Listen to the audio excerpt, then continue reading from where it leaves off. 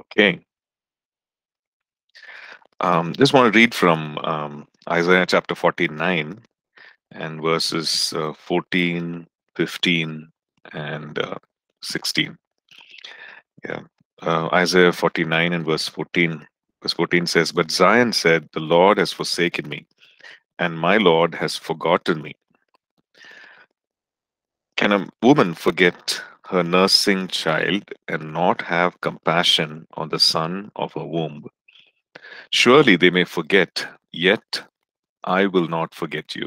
See, I have inscribed you in the palms of my hands. Your walls are continually before me. Um, so here it, it's in response to the cry of the people of God. Zion has said, The Lord has forsaken me, and my Lord has forgotten me. Forsaken, forgotten. Right? So their their their cry is this that the Lord has forsaken me, the Lord has forgotten me.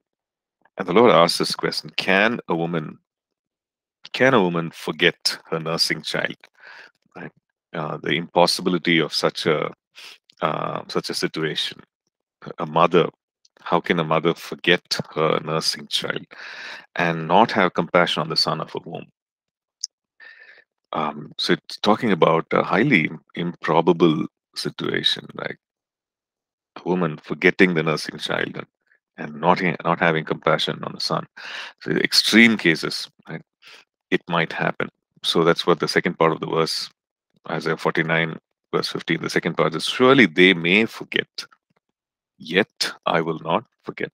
So, so Lord is really comparing himself, his love, and verse 16, see, I have inscribed you on the palm of my hands. Your walls are continually before me. Yeah. So let's uh, this morning, as we uh, you know, as we as we start, um, let's be reminded and reassured. You know, the Word of God reminds us about uh, the, I mean, the extent to which He loves us, the strength of His love, the intensity of God's love, right? Um, and even in the face of certain things, um, like the mother's love failing, right? Even then, says um, his love does not fail, which means that his love is, you know, more complete. Is uh, doesn't have the failings of human nature. Is not limited by human nature, but goes beyond that. Right. So let's be reminded of it and uh, reassured of it um, as we begin this day. Let's pray. Father, we thank you. We thank you for these uh, Lord, for these promises and for this reminder from your word, God, about your love, Father God. Yes, as impossible as that situation is for a mother to forget her nursing child, for a mother to forget or to ha- not have compassion on the child of her womb. God, as impossible as that situation is, even if that happens, Lord, Lord, your word declares that your love for us, and you will never, Lord, uh, love us less, Lord, that you will continue to love us, God. You will not forget forget us, oh God. Um, and we are not forsaken by you, God. And we thank you that the cr- cross declares your undying love for us. The cross declares your unconditional love for us, Lord. And so we thank you, Father God, and thank you that we are, Lord, in the palm of your hands, God, that you have inscribed our names in the palm of your hands. Nothing escapes your attention, God. So, Father God, this morning we just want to thank you. We rejoice in the fact that we are known by you. Lord, we are reassured, oh Father God, and strengthened, Lord, by the uh, by the truth, by this truth, oh Father God. And uh, may our life change Father God. May our outlook change, our perspective change because of this one truth that you love us, God. We thank you. We give you all the praise and all the glory. In Jesus' matchless name we pray. Amen. Amen. Okay, so today as we um, continue in inner wholeness, uh, we've been looking at chapter 5 and journeying into emotional wholeness, right? Um, so we saw that uh, when we need when we are using that word journey, which means that it's uh, it's uh, well, it's uh, it's not a one-time thing, right? It's uh, it's a journey, which means it's a it's a process, and it can be a short process. Like we said, it can be um, uh, you know short process of just one step. You know, a journey can be one step as well, but it is also uh, you know the truth is that it can be a journey of many steps, right? Emotional wholeness. So when we uh, journey into emotional wholeness, um, what are some things that we need to do? What are some things that we can uh, be strong in? And we looked at three things. Right? One is receiving the Father's love. Okay, that God loves us, um, and uh, and the fact that uh, He loves us, we receive that love, and that strengthens, that changes us uh, completely. Okay.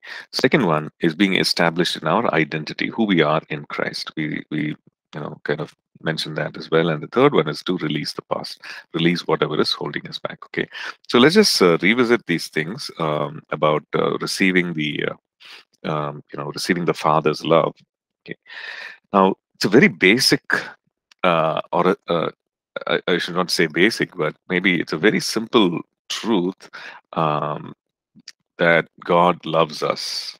Okay, um, especially if it's uh, you know when we know that uh, the truth of Scripture, uh, when we read through the Gospels, um, uh, this whole theme of God's love comes over and over again. And even when we you know this scripture that we just read um, from Isaiah, that the love of God is so much, it's so strong, and He loves us. Okay.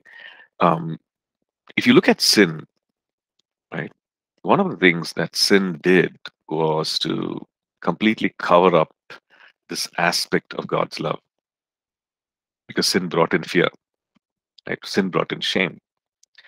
And so, because of fear and shame, um, if you if you look at what happened in the garden, Adam and Eve distanced themselves from God. You know, they hid the the whole aspect of this fellowship and communion and love suddenly disappeared. It's like instantly they forgot how much God loved. Instantly they you know cease to um, you know function in that love or walk in that confidence. Right. So sin actually broke something uh, in them. This aspect, this confidence, this communion, sin has broke that. Right. So now having been restored because of the cross once we receive jesus and uh, and because our soul our mind will emotions intellect you know the soul realm is still uh, untouched right? And we need to renew. We need to renew our thinking. We need to uh, you know renounce certain lies of the enemy. It is possible that um, there are still remnants of certain lies about God and about God's love. Okay, we might say God loves us, and we might say, okay, um, you know, uh, I know, I know that God loves, you know, but then is that revelation there in our spirit?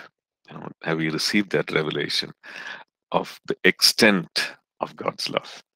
Right, because once we receive that, or once we understand that, uh, that truth sets us completely free. And that truth makes us emotionally whole. You know, some aspects of our lives where we are, maybe we could be craving for attention, craving for approval, right? Uh, from from a person, individual, or it could be community of people, friends, family, because something is deep down, you know, something is broken deep down because of maybe a sense of rejection, maybe a sense of insecurity, right? Where there is a, there could be a, a, a deep hunger for approval, a deep hunger for approval, which could come through words, which could come, come through touch, you know, approval of man, of another human being, right? Now, when that uh, when that thing is still there, when that brokenness is still there, when uh, when we know that when we when we realize that okay that is still not healed then we see that it leads to all kinds of problems in the soul in the soul realm right? And uh, because there's a problem in the soul realm it leads to you know behavior being uh, weird and strange and and uh, and also you know people doing things certain things uh, because they want attention. And it is um, you know it's it's very very um, obvious in children like children want uh, parents attention. Children want uh, crave for approval. You know they you you you've seen you know they they do something and then they show you know they say you know look at this look at this look at what i draw, look at what i've drawn. Um you know how is this? How is that? See you know even at the playground they're saying see see what i'm doing? See know i've, I've climbed the slide see how fast i'm running see how you know uh, how i'm sliding uh, see i can do this cartwheel. You know children want that. There's nothing wrong. And uh, and, it, and it just goes on to prove that this is how we've been designed right? We uh, we want that uh, approval and affirmation. So when the approval and affirmation from god himself is not there then uh, no matter what kind of affirmation or approval or recognition we get from people that is still empty.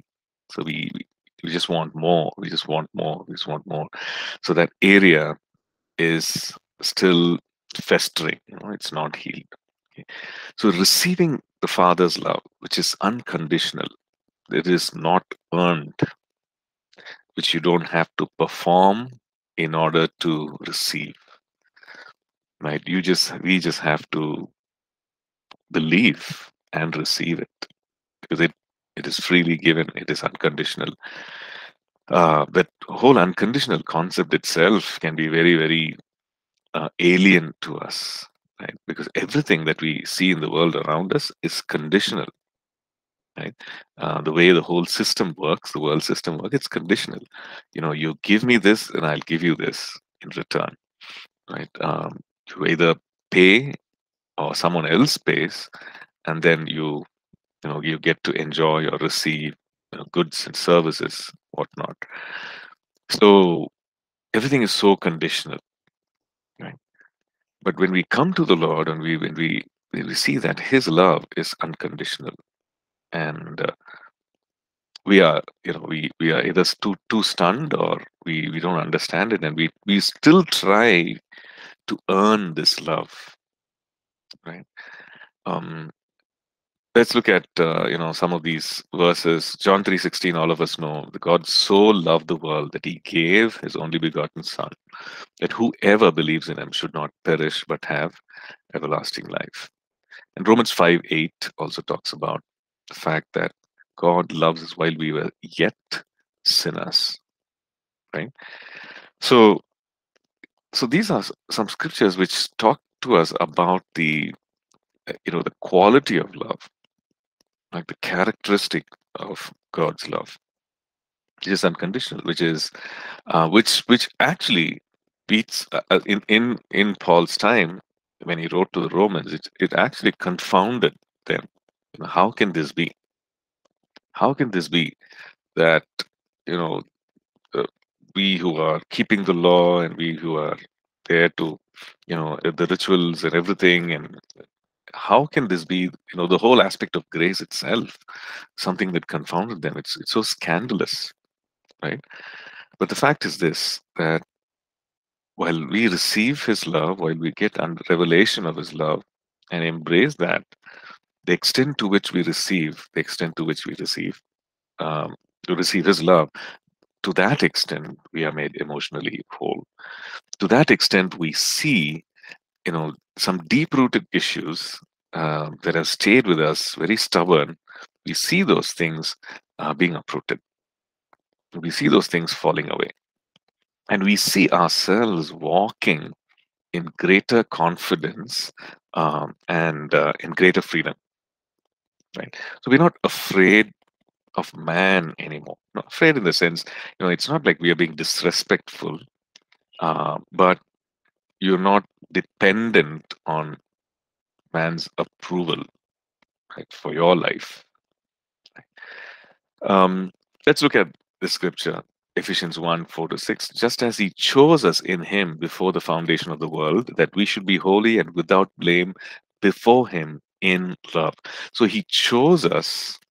Okay, it's it's you know it's not like you know he wants us to be holy and without blame, and then he will choose.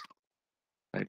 You see the order, he chose us before the foundation of the world that we should be holy and blame without blame before him in love. having predestined us to adoption. So when we choose Him, we are already predestined to be conformed to the image of His Son. We are predestined for adoption, right? according to the good pleasure of His will, to the praise of the glory of His grace, by which He made us accepted in the beloved. Accepted in the beloved. This acceptance is a big thing. Um, we there are times when we need to, you know, when it comes to human relations, we need to earn that acceptance. But with God, He takes the initiative to accept us, to choose us, to so that we might be found in love without blame and being holy. He chose us before the foundation of the world, which means that even before things were set in motion, you know, this is this was his desire that they are chosen, they are accepted. Okay. So accepted, adopted, chosen, you know, and chosen, adopted, accepted to be part of his family. Uh, one more scripture, Ephesians 2, verses 4 to 7. But God, who is rich in mercy, because of his great love with which he loved us, even when we were dead in trespasses. Okay. Great which, you know, many, many times it's, it's easier to um, picture the fact that God loves us if we have read the word, right? God loves me when I'm saying the right things. That God loves me when I'm doing the right things. Okay, uh, God loves me if I'm if I'm preaching message. God loves me when I'm sharing, witnessing to another person about Jesus. Um, but if I'm not doing any of that, then we begin to doubt God's love, or we begin to, you know, come to a place of saying, uh, you know, maybe God doesn't love me as much. Right. Okay, I think I see a question here. Okay, can we point the narcissistic behavior back to a lack of approval, lack of being understood at an early age? Okay, narcissistic meaning self-absorbed, um, you know, and and also sadistic. Okay, these are two different things, right? Uh, narciss narcissistic is uh, is uh, you know uh, being the center of attention and being self-absorbed um, and sadistic is inflicting pain on others right? Um, or uh, you know taking pleasure in others uh, others downfall you know, being sadistic. So two different things. So um, yes in a way there could be many factors but this could be one factor you know lack of approval. Um, narcissistic uh, definitely you know because you're absorbed with oneself and you're doing things to oneself in order to be that focus you know you want everybody's focus and attention upon you right? So you're so absorbed you know how am i looking how am i doing things and how am i you know uh, absorbed to the extent that you know everybody's eyes everybody's attention needs to be you know, on one person right? So so that's the thing. That could be um, lack of approval and even lack of being understood. I think so the lack of approval is a lack of approval lack of being loved is is a root right? Um so yeah that could be one of the factors. Yes. Okay. Right. So um so we see that okay it's easy to say that okay god as long as i'm doing all this then you know there is love from the father. But if i'm not uh, doing any of this or if i failed in you know any one of these things then god doesn't love or god doesn't care right? But the fact is this you know over and over again if uh, like romans in, in, the book of romans and uh, and also in ephesians we see that god while we were yet sinners while we were dead in trespasses right while we were not yet on the scene actually if you if you look at it that's the thing. We were not yet on the scene, um, um, not, not yet in existence, and such uh, such was the greatness of His love with which He loved us.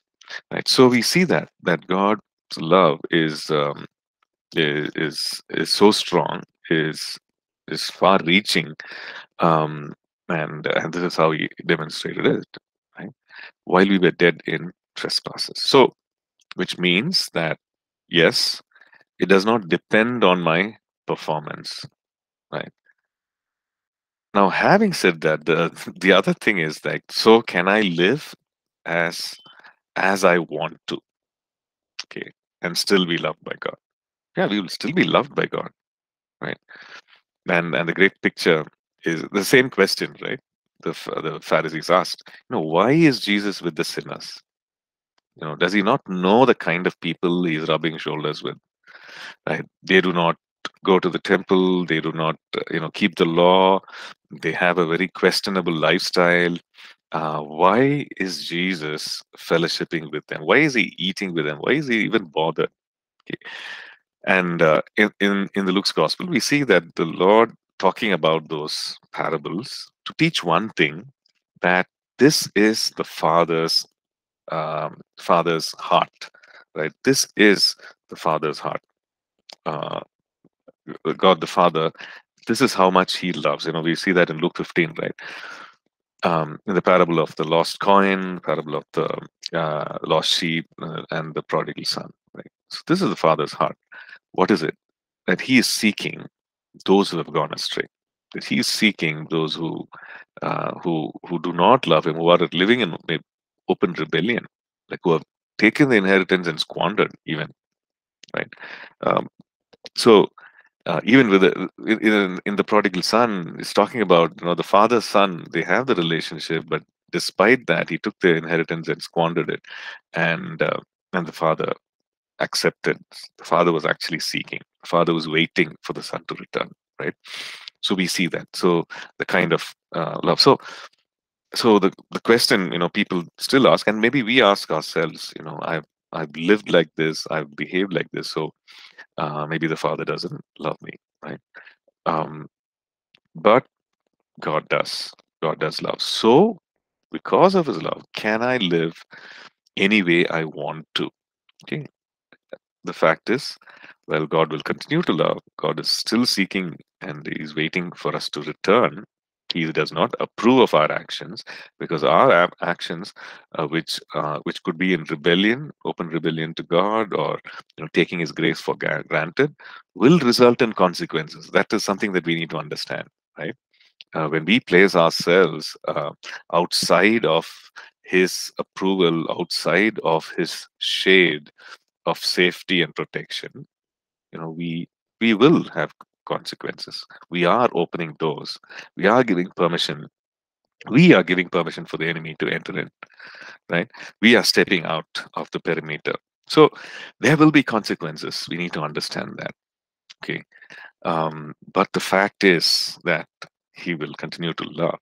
He's expecting us to. So it's a very powerful thing. So this, the fact that God loves us so much, you know, instead of saying, okay, I now I can do what I want. It, it should be the other way around. It, it, it's a place of strength where we say, God loves me so much. How can I do whatever I want? How can I live however I want? Right? In response to this love, this kind of love. So, this kind of love, the, the you know, uh, in Scripture we see that it's it's the unconditional God kind of love, agape, right? So, uh, the instruction that we see in Ephesians chapter 3 is that because of God's love being unconditional, immeasurable, uh, and so on, uh, what, what is the, that we see? That Christ may dwell in your hearts through faith, that you, being rooted and grounded in love, may be able to comprehend with all the saints what is the width and depth and height, length, uh, width and length and depth and height, to know the love of Christ which passes knowledge, that you may be filled with all the fullness of God. You know, there's so much in these verses, right? That you may dwell in your hearts, that Christ may dwell in your hearts of faith, that you being rooted and grounded in love, rooted and grounded in love you know there was a there was a tree which uh, uh, which was in our house uh, in uh, in, our, in our hometown, not in Bangalore, uh, in Tamil Nadu. So there was this tree, and uh, it, it, was small. It, it, just kept growing, kept growing. um, I, I, forget the technical name for that tree, but we used to call it an Ashoka tree. Deep roots, and uh, so deep that we had one water sump. So it would it actually went the roots went there, broke through that water sump. Uh, you know, like a, a underground embedded water tank, right? So uh, it broke through that cement, broke through that concrete, and the roots went there to get the water, right? So and and it was actually the entire the uh, the cement flooring on the ground. It it would just come up because of the you know so strong roots were.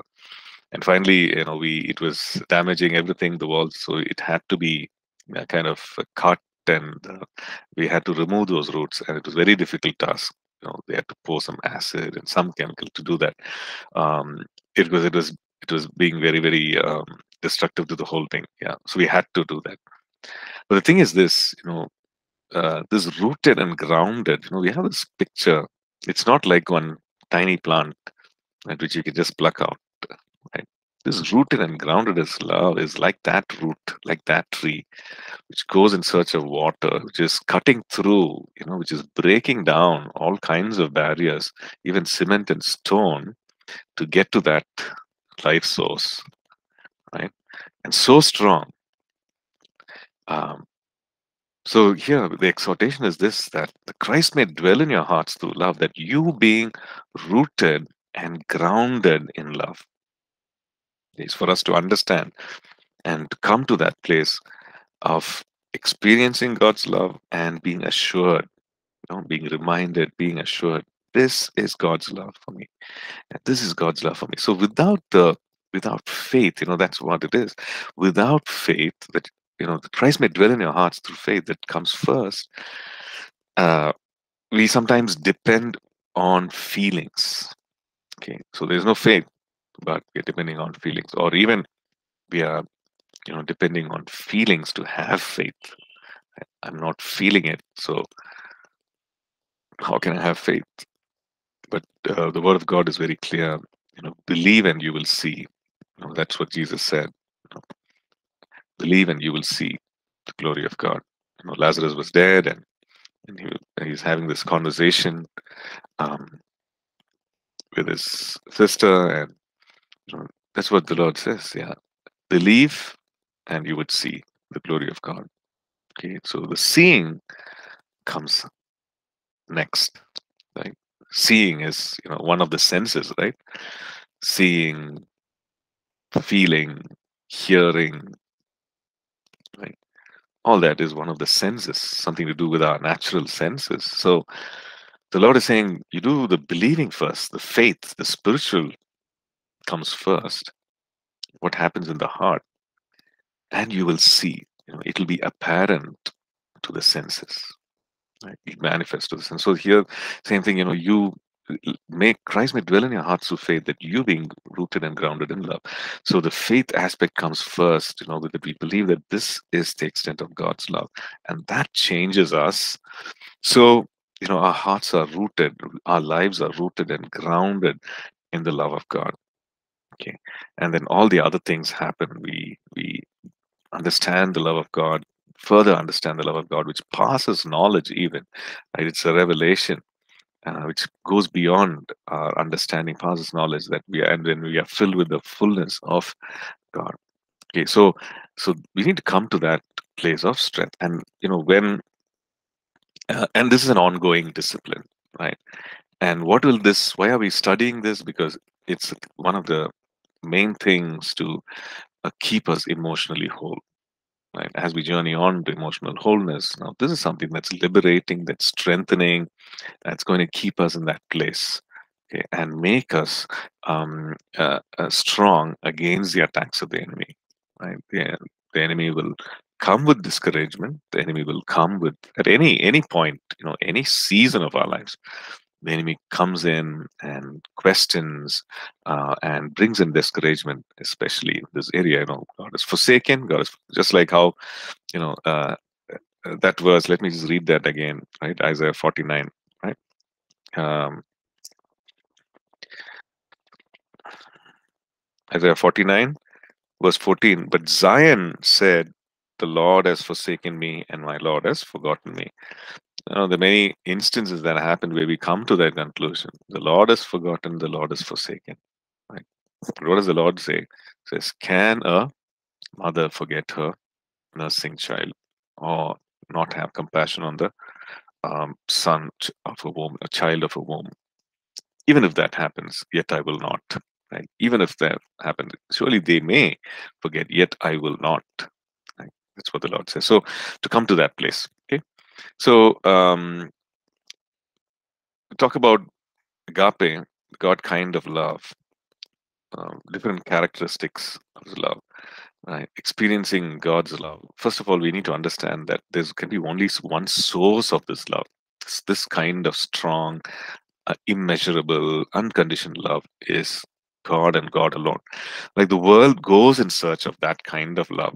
You know, if you if you if you look around, the world is constantly, um, you know, when I say world, you know, I'm talking about believers also, right? Um, world, of course, the people who do not know Jesus are constantly going in search of that love, and you know, in maybe they're thinking, okay, maybe here, you know, I will find that love. Here, I will find that love. In doing this, I will experience, you know, some sort of fulfillment from this emptiness. Maybe if I there's only one source, and that is the Lord Himself. There's only one source for this kind of love. Now we need to settle it. Now nothing else is going to satisfy. No one else is going to satisfy. Yes, there will be, you know, there, God will definitely, you know, use them to bring companionship and and uh, you know bring us to a place of and, and God is designed, right? uh, companionship, and spouse, and family, and friendships, and all that. It is the Lord who has this kind of love. He's the one who has designed it. But He is the source. Okay. So, uh, which means that every other kind of love has its limitations. So we can't fool ourselves by singing, oh, this person, this group, oh, they're going to love me like this. No, there's no one who can love us like Jesus. There's no one who can love us like our Father. So um, we receive that love. It comes from only one source, right? This kind of love. So when we experience this kind of love, there are a lot of things that happen. Right? A lot of things that happen to us.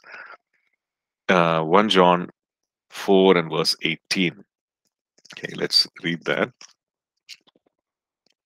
1 John chapter 4 and verse 18 says, There is no fear in love, but perfect love, this perfect love casts out fear because fear involves torment. But he who fears has not been made perfect in love.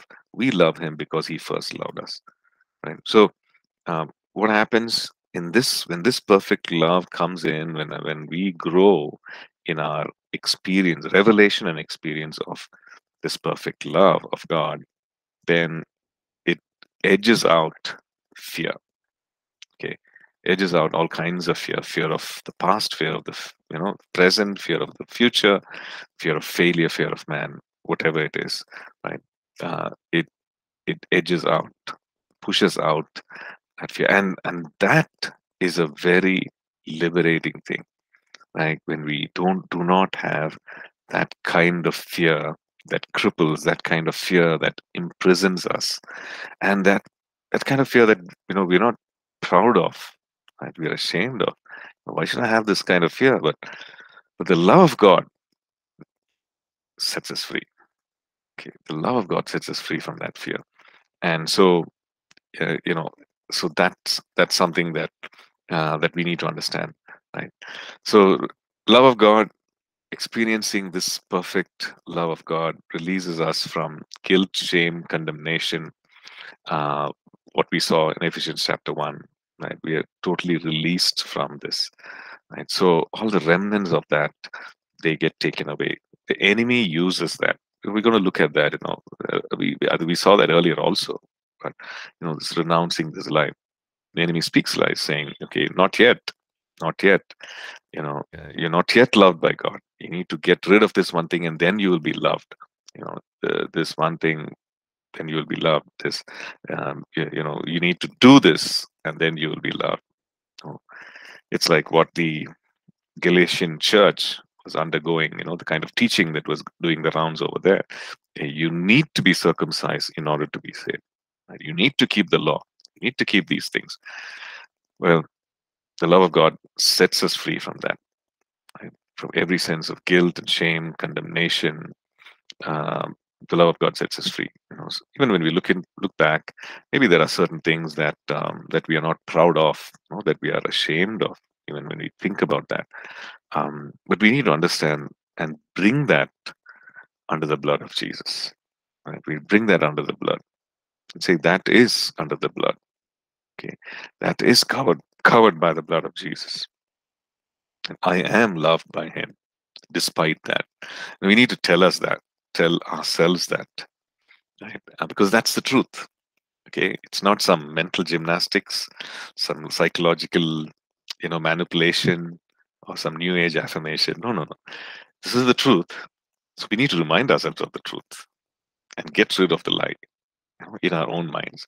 So you can see that how you know how much of healing can happen to our emotions when we when we accept this simple truth or when we accept this you know um, this perfect love of god okay so uh, we are set free uh, we are set free from all kinds of feelings of being unloved or rejected uh, because Ephesians 1 6 says that we are accepted in the beloved. Okay.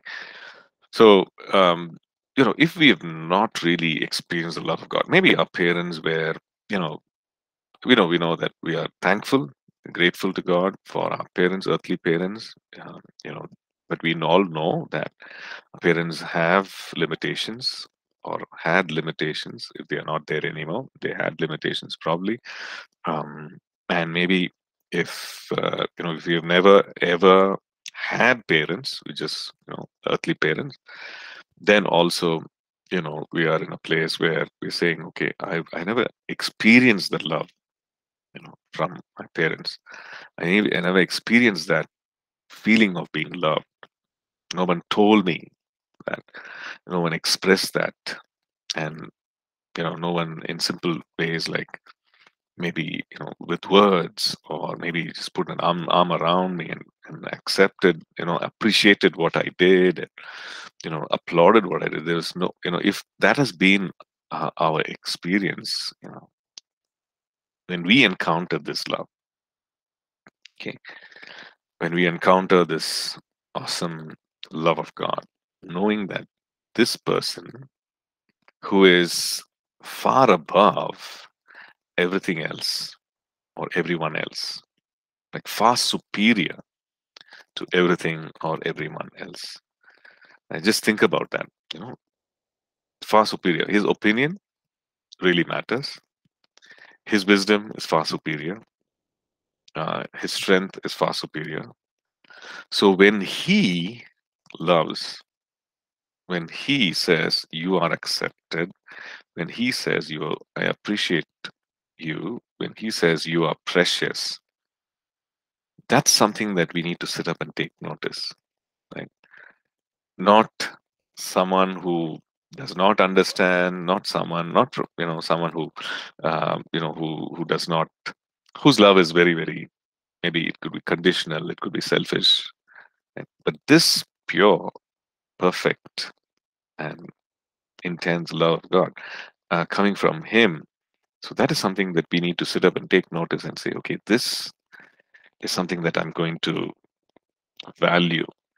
Okay, so when we receive that, all these feelings of being unloved, rejected, unappreciated, right, uh, unaccepted, and as children, you know, I'm just looking back. As children, uh, you know, we've always made fun of some people who were different from us. Like maybe people who were who wore glasses at a very young age, people who were you know different, you know, looking um, physically, right? Maybe they were fat, maybe they were thin, maybe they were tall. You know, anything. Uh, as kids, we made fun of. We put labels. We we did them. Maybe some some guys were slow, and some were. We made fun of them, right? Uh, and some of those labels stick, right? and uh, some things stick with them through the the adult phase. Okay, but the fact is that you know only God receiving God's love actually erases all that brings uh, erases in the sense it's, it's not like people don't remember but the pain people will not feel. Even if they remember even if they have that memory the pain of that memory yes the lord heals completely and removes completely okay? So that's something uh, that we are set free from that since we are accepted. Okay the other thing is that all kinds of uh, all sense of unworthiness worthlessness self-worth and uh, you know self-esteem. Okay. If we are received by god if we are called as sons and daughters and uh, it says you know you you matter to me. Okay.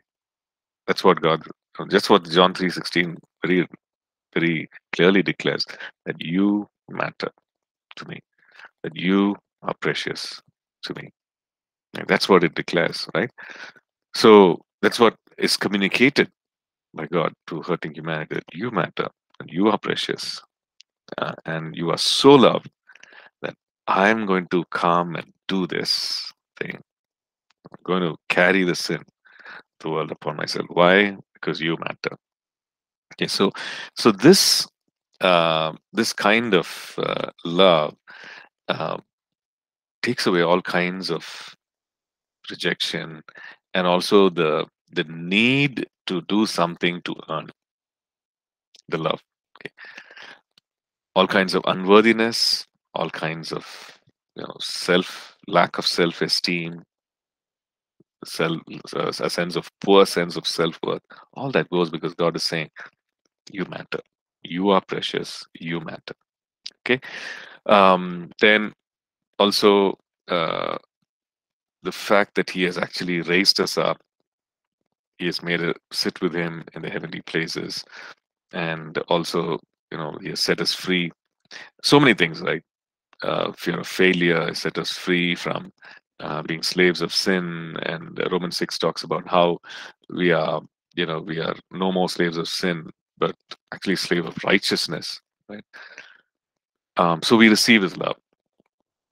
Um, and all kinds of internal turmoil strangely are quietened because we've received his love. Okay look at zephaniah 3.17 okay zephaniah 3.17 the lord your god in your midst the mighty one will save. He will rejoice over you with gladness. He will quiet you with his love. He will rejoice over you with singing. Okay he talks about god celebrating us. And he's in our midst. He's the mighty one. He is rejoicing. Says he would rejoice over you with gladness. He will quiet you with his love. Just want to draw our attention to that. He will quiet you with his love. You know if there's any kind of turmoil what is that quieting? You know is it because you are you know rejoicing and exuberant? No no this is the opposite of that. If you are you know in turmoil you know if you're turbulent and experiencing all kinds of fear or anxiety it says you know he will quiet you with his love. Very reassuring right? He will quiet you with his love. He will rejoice over you with singing. Okay. So this receiving god's love is a very very important aspect of journeying into emotional wholeness. And this is you know we this is something that comes under attack. This is something that we forget. This is something that um, you know uh, if we are not careful uh, we we might think oh yeah i know god loves okay i know jesus loves me. I've seen that sticker. I've seen that smiley right? So if you're not careful we we we might actually take it for granted okay? And lose out on so much because we are not rooted and grounded in the love of god okay? Okay so that's the first thing. The second thing is to be established strengthened in who we are in the lord jesus. Very very important. Our identity in christ very important you know. If, if you look at uh, i'm sure you've you you know you've seen you've noticed that uh, when the lord jesus was tempted you know uh, we see in luke chapter 4 uh, we see that the temptation over and over again uh, hits at the identity his identity. What kind of identity did he have? He's the Son of God, right? So that is the first thing, right? And that's the recurring thing. If you are the Son of God, command these stones to be changed into bread. Right? If you are the Son of God. So that's the that's the thing, you know. He asks, if you are the Son of God, throw yourself down from here. For it is written, it's quoting scripture, right? If you are the Son of God. So the identity of who we are to God and who He is to us um, is something that is that needs to be rock solid right? That's another thing that needs to be strong. Just like the father's love and we being strong in it um, the identity of who we are to him right? It is it is it, it, it is the same thing as uh, or you know it is an overflow of that god loves us and why? Because we are his sons and daughters.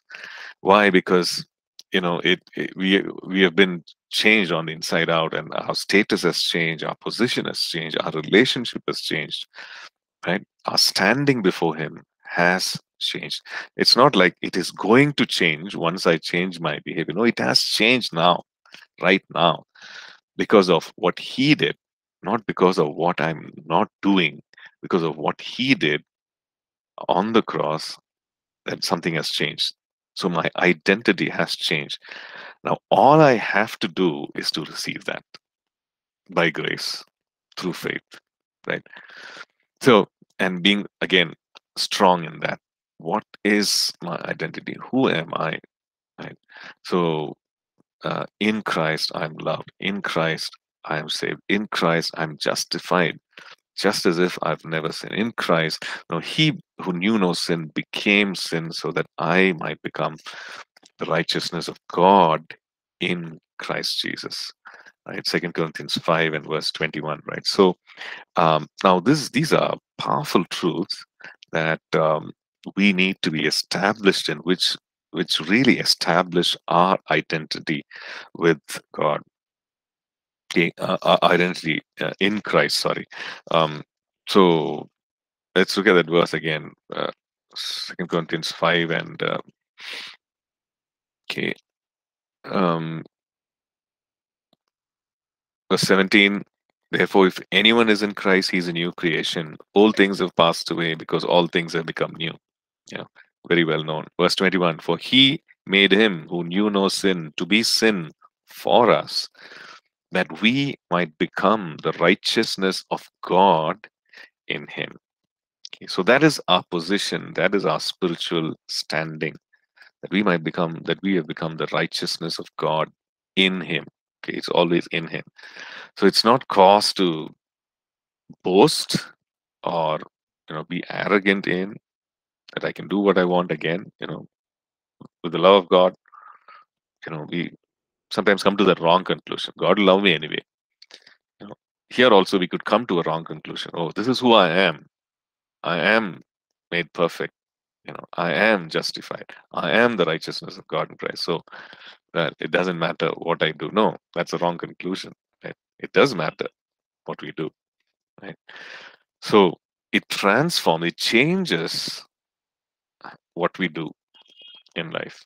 Okay? What are some of the things? Transforms the way we relate to God. Right?